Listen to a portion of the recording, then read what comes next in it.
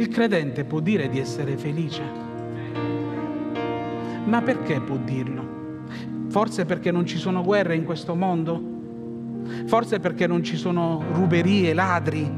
Forse perché non ci sono inganni, non ci sono oltraggi, persecuzioni? Perché il credente allora può dire di essere felice? Semplicemente perché ha Gesù nel proprio cuore. Di cosa sei irritato?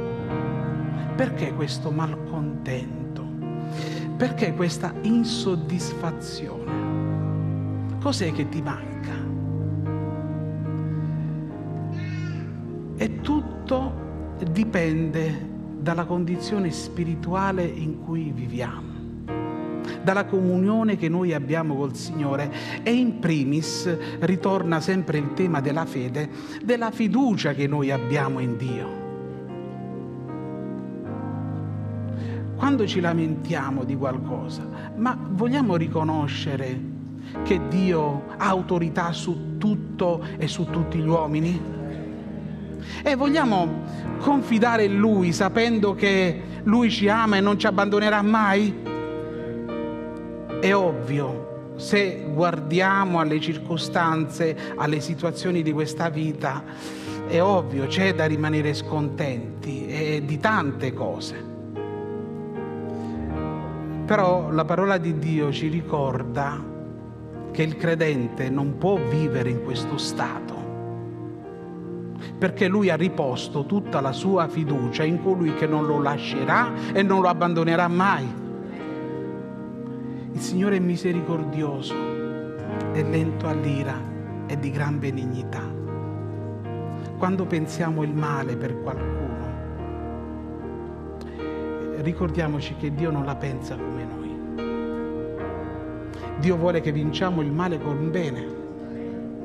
Ed è questa la posizione che Dio ha avuta per ciascuno di noi. Il Signore doveva giudicarci, doveva condannarci. Non potevamo avere più comunione con Lui, ma ha usato quella misericordia che per noi è incomprensibile ha mandato il suo unigenito figlio sulla croce a morire affinché noi fossimo riconciliati con lui.